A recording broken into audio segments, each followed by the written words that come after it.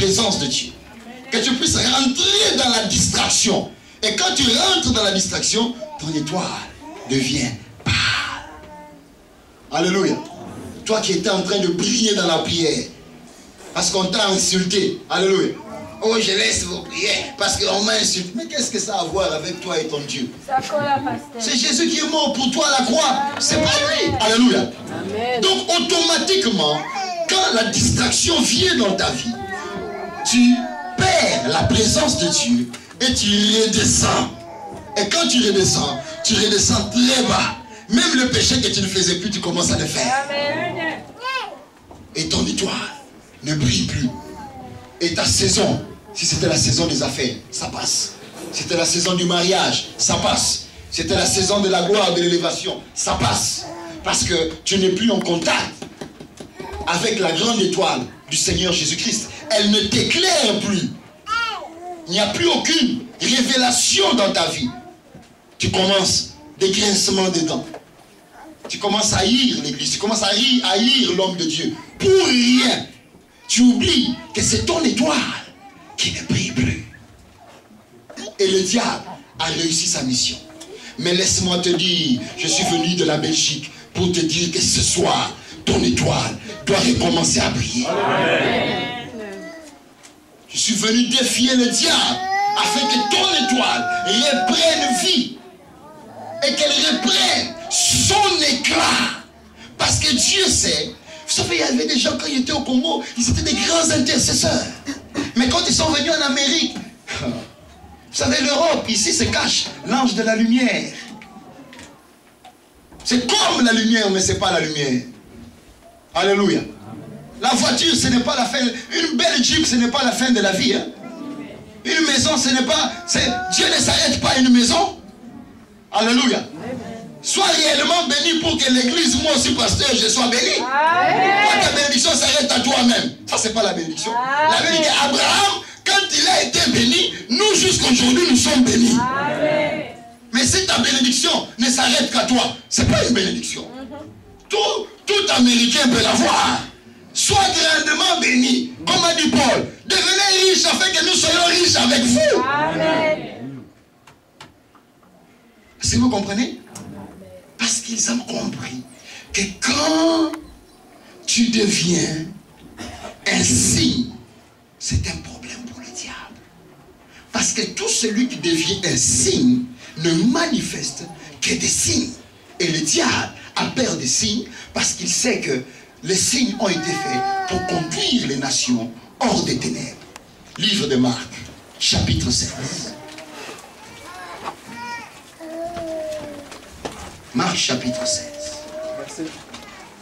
Marc chapitre 16, verset 15.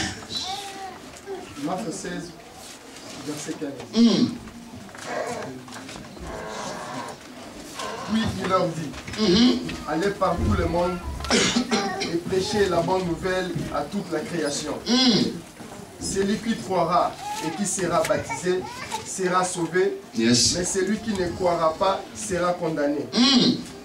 Voici les miracles qui accompagneront ceux qui auront... Chez moi on dit, voici les signes. Continue.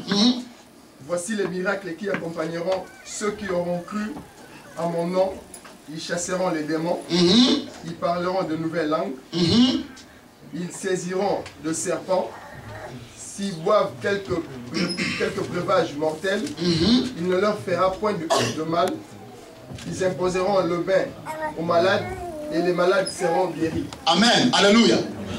Quand tu deviens un signe autour de toi, commence à se manifester des signes. Alléluia. Automatiquement, il y a des signes qui vont commencer à se manifester. Parce que nous vivons un temps où Dieu est en train de faire des signes afin que le monde croie que Jésus-Christ est Seigneur.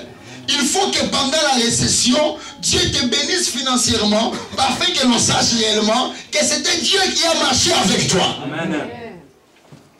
Est-ce que vous comprenez?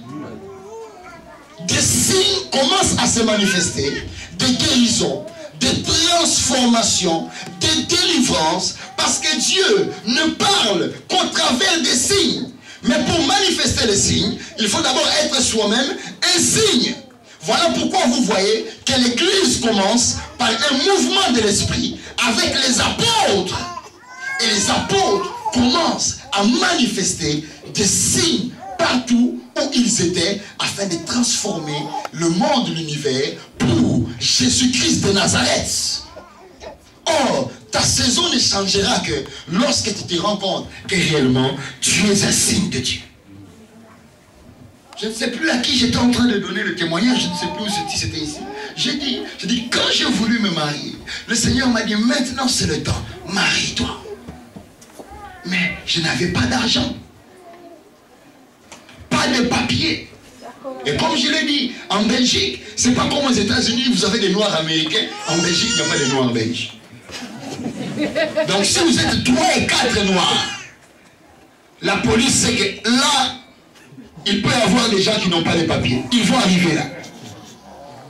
Et en cet instant-là, Dieu me dit maintenant, c'est l'heure de se marier. Si tu n'es pas un signe, tu ne pourras pas le faire. J'ai commencé à réfléchir. J'ai dit, mais comment je vais commencer? Je n'ai pas de papiers. Et quand je ne suis, je n'ai pas de papiers. Je n'ai pas de travail. Je suis entré en prière pendant 40 jours. Et quand j'ai prié pendant 40 jours, je me rappelle que j'ai une vision. Et dans cette vision, quand j'ai atteint 21 jours, je me suis fatigué. J'ai dit, mais je ne vois rien. J'ai une vision. Et dans cette vision-là, on me montrait, c'est comme une voiture de course qui avait pu porter le numéro 21 en plus. Et cette voiture-là fonçait. J'ai compris que je devais continuer le jeûne. Et quand je suis arrivé au 40e jour, Dieu merci, Dieu a fait que je puisse avoir un peu d'argent. J'ai acheté une voiture. Alléluia. Et quand j'ai acheté une voiture, j'ai commencé à travailler avec.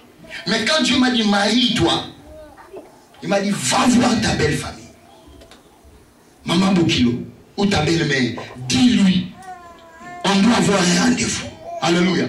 Je dis, mais si je n'ai pas d'argent, va d'abord faire cela. Alléluia. Quand tu, quand, quand tu ne sais pas manifester des signes avec Dieu, c'est parce que toi-même tu n'es pas ainsi. Parce qu'il faut que nous apprenions à croire. Parce que nous ne marchons pas selon la vue, mais nous marchons selon la foi. Or, la foi est la capacité que Dieu nous donne de commencer à voir dans l'invisible. C'est que les autres ne peuvent pas, ne sont pas capables de le voir. Et quand j'ai commencé à prier, voilà pourquoi il est important de prier. J'ai commencé à voir ce que les autres ne pouvaient pas voir. Les autres me disaient, mais tu es fou, tu n'as pas encore d'argent, tu n'as pas encore de papier. Mais par la foi, je voyais déjà mon mariage. Amen. Alléluia. Dieu ne te dira jamais de faire quelque chose si tu as déjà toi-même la force de le faire. Mais Dieu t'enverra quand il sait que tu n'as pas la force de le faire. Moïse, va me chercher ce peuple de l'Égypte sans armée afin que tu saches que c'est moi l'éternel qui a fait de toi un signe et tu vas aller manifester des signes là où tu vas. Et le peuple sortira de là. Je suis venu dire à quelqu'un euh, ce, soir à Champagne, ton étoile peut briller. Laisse-moi te dire, quel que soit l'endroit ou le lieu par quoi tu es en train de passer, mais je viens te dire, ce soir,